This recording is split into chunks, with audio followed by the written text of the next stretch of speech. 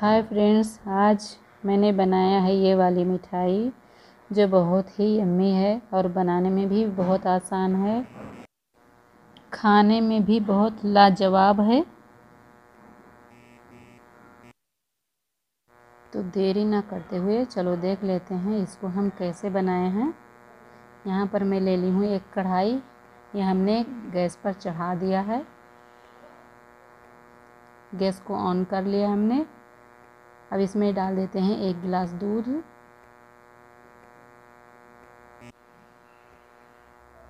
तो एक गिलास दूध मैंने डाल दिया है।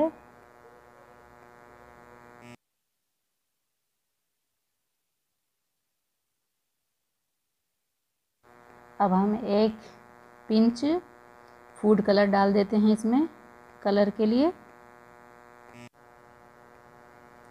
फिर इस, उसके बाद डालेंगे इसमें नारियल का बुरादा।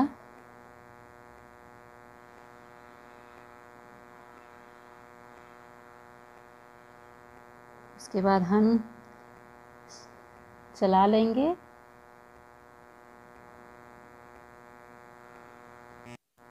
फिर जाएगा इसके बाद चीनी पीसी हुई। इसको मैंने मिक्सी जार में शक्कर को पीस लिया है। इसको भी चला लेंगे।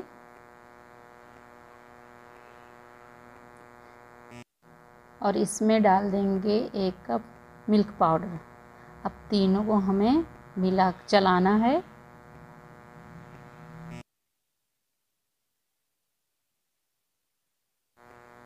उसके बाद हम डाल देंगे इलायची पाउडर खुशबू के लिए।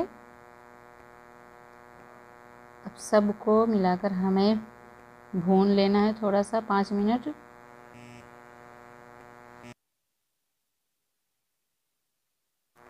दूध हमारा कुछ कम था, इसके लिए हमने एक आधा कप दूध डाल दिया है। अब इन सबको हमें चला लेना है बढ़िया से। तो मैंने इन सबको चला लिया है, चलाते हुए हमारा पाँच मिनट हो चुका है। उसके बाद हमने एक प्लेट में निकाल लिया है सबको।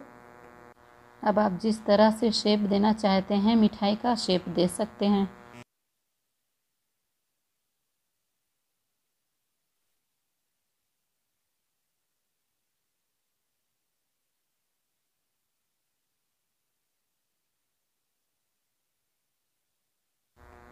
तो हमने इस आकार का बनाया हुआ है।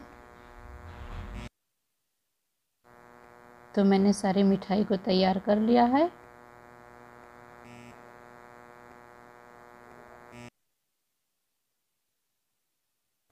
अब मिठाई को नारियल वाले बुरादे में हमें कोट कर लेना है।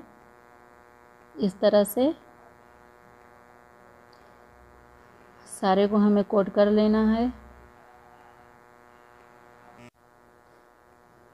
तो हमारी मिठाई तैयार है। देखिए कितना अच्छा लग रहा है, बहुत टेस्टी बना है ये। बहुत ही यम्मी है। सबको पसंद आने वाली ये मिठाई है।